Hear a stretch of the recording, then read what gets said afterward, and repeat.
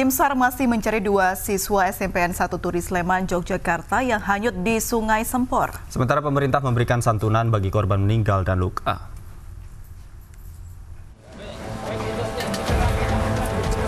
Tim SAR menyisir Sungai Sempor dari bagian utara, tempat awal siswa menggelar kegiatan untuk mencari dua orang lagi yang masih hilang.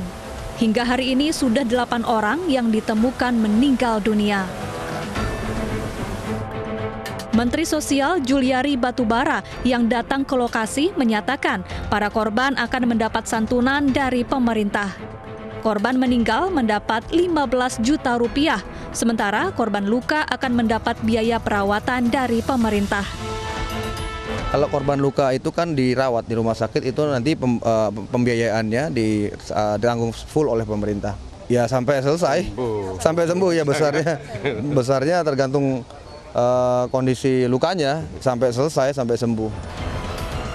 Sementara puluhan siswa SMP Negeri 1 Turi Sleman yang terluka masih mendapat perawatan di Puskesmas Turi.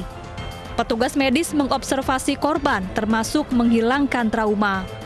Dari Sleman, Yogyakarta, Tim Liputan iNews melaporkan.